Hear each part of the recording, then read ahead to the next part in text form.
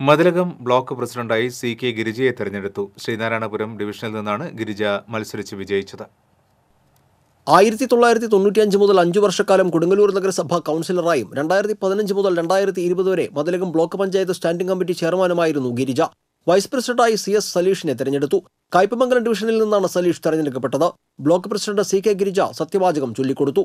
നിലവിൽ DYFI Nattika block joint സെക്രട്ടറിയാണ്. മതിലകം ഗ്രാമപഞ്ചായത്ത് പ്രസിഡന്റായി ഏഴാം വാർഡ് മെമ്പർ സീനത്ത് ബഷീറിനെ തെരഞ്ഞെടുത്തു. വരണാധികാരി ജ്യോതി പി ബിന്ദു സത്യവാചകം ചൊല്ലിക്കൊടുത്തു. വൈസ് പ്രസിഡന്റായി വി എസ് രവീന്ദ്രനെ തെരഞ്ഞെടുത്തു. നേരത്തെ രണ്ട് തവണ പഞ്ചായത്ത് അംഗമായി പ്രവർത്തിച്ചിട്ടുണ്ട്. പെരിഞ്ഞനം ഗ്രാമപഞ്ചായത്ത് പ്രസിഡന്റായി മൂന്നാം വാർഡ് മെമ്പർ വിനീത മോഹൻദാസ് എതിരില്ലാതെ തെരഞ്ഞെടുക്കപ്പെട്ടു. വരണാധികാരി ബിന്ദു മേനോൻ സത്യവാചകം ചൊല്ലിക്കൊടുത്തു. വിനീത മോഹൻദാസ് രണ്ടായിരത്തി പത്ത് മുതൽ രണ്ടായിരത്തി പതിനഞ്ച് വരെ വാർഡ് മെമ്പറായി പ്രവർത്തിച്ചിട്ടുണ്ട്. വൈസ് പ്രസിഡന്റായി രണ്ടാം വാർഡ് മെമ്പർ സായിദ മുത്തുകോയ തങ്ങളെ തെരഞ്ഞെടുത്തു. നേരത്തെ രണ്ട് തവണ മെമ്പറായിരുന്നു. കയ്പമംഗലം പഞ്ചായത്തിൽ പതിനാറാം വാർഡ് മെമ്പർ ശോഭന രവിയെ പ്രസിഡന്റായി തെരഞ്ഞെടുത്തു. കൊടുങ്ങല്ലൂർ ഭൂരേഖ തഹസിൽദാർ ജെസി സേവ്യർ വരണാധികാരിയായിരുന്നു. വൈസ് പ്രസിഡന്റായി പന്ത്രണ്ടാം വാർഡ് മെമ്പർ ബീന സുരേന്ദ്രനെ തെരഞ്ഞെടുത്തു. എടത്തിരുത്തി ഗ്രാമപഞ്ചായത്ത് പ്രസിഡന്റായി പന്ത്രണ്ടാം വാർഡ് മെമ്പർ ടി കെ ചന്ദ്രബാബുവിനെ തെരഞ്ഞെടുത്തു.